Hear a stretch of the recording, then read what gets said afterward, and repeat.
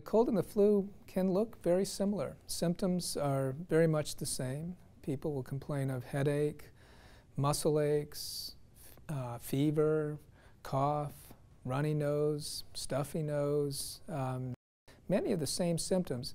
The difference is really in the degree of severity. The flu is a much more severe illness than a cold.